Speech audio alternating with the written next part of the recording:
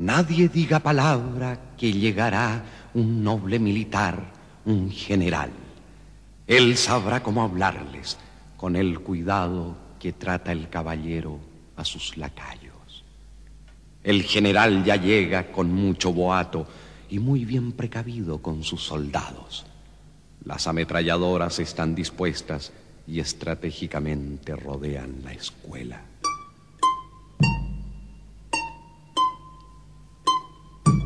Desde un balcón les habla con dignidad. Esto es lo que les dice el general. Que no sirve de nada tanta comedia, que dejen de inventar tanta miseria, que no entienden deberes, son ignorantes, que perturban el orden, que son maleantes, que están contra el país, que son traidores, que roban a la patria, que son ladrones, que han violado a mujeres, que son indignos, que han matado a soldados, son asesinos, que es mejor que se vayan sin protestar que aunque pidan y pidan, nada obtendrán. Vayan saliendo entonces de ese lugar, que si no acatan órdenes, lo sentirán.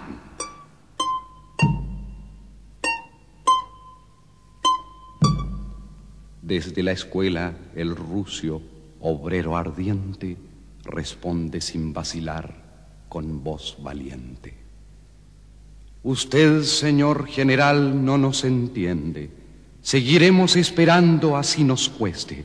Ya no somos animales, ya no rebaños. Levantaremos la mano, el puño en alto.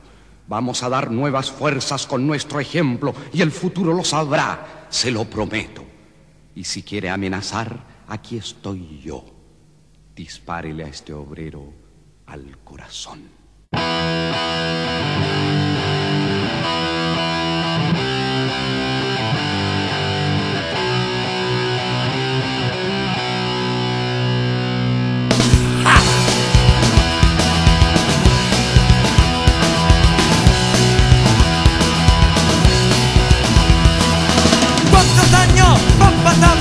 Con la espina en el corazón.